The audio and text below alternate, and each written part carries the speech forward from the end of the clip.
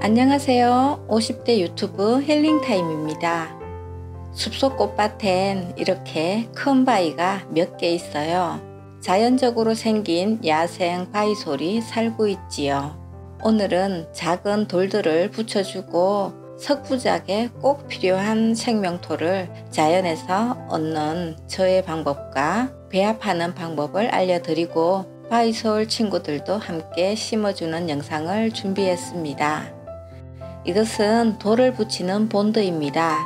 이 본드만 있으면 돌 붙이는 방법 너무 쉬웠습니다.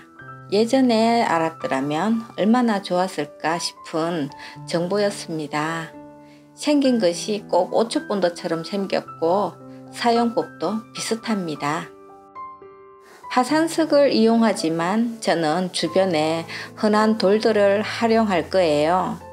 먼저 적당한 위치에 돌들을 나열해 자리를 잡아보고요. 돌과 돌 사이에 시멘트 가루를 솔솔 뿌린 후 본드를 뿌려줍니다.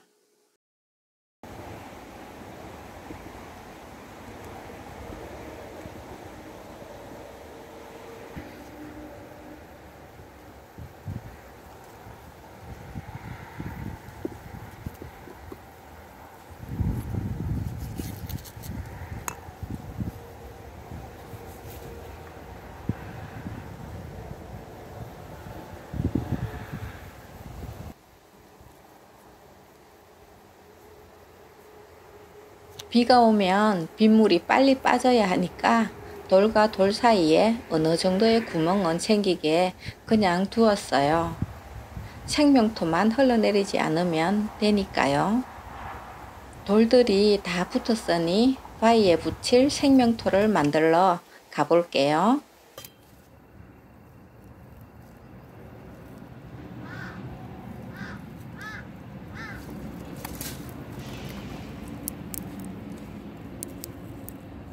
아주 고운 진흙 같은 뻘흙입니다. 물이 고여 있는 장소나 웅덩이 같은 곳에서 구할 수 있어요.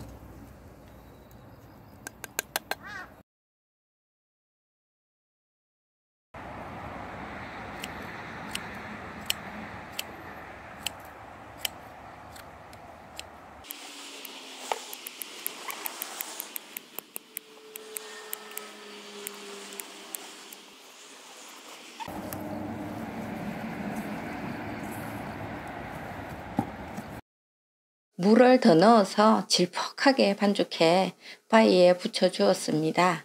음, 어느 정도로냐 하면 우리 수제비 반죽할 때 그것보다 조금 더 묽게 반죽해 줍니다. 자연 속에서 구할 수 있는 재료로 활용했지만 가정에서 석부작 할땐 반죽해서 판매하는 생명토를 구입하는 게 더 간편합니다.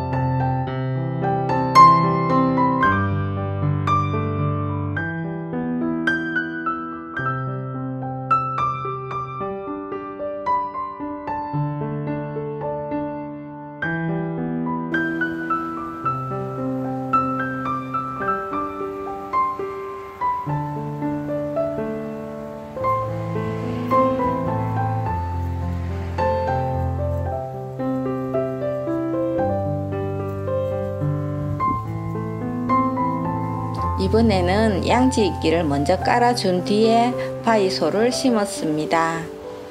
생명토 위에서 이끼가 더 잘 자랄 테니까요. 이끼도 조금의 흙은 필요합니다.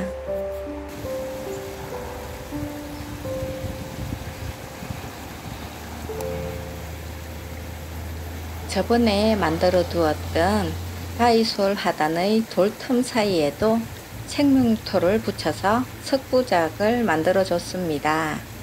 양지기를 더 붙여주고 석부작이 있으니 더 예뻐졌답니다.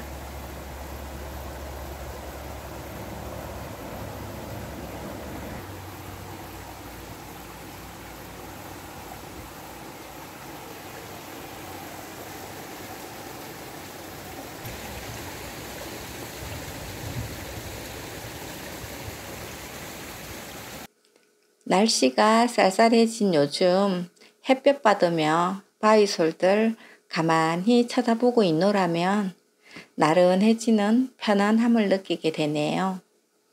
이것이 바위솔의 매력인가 봐요.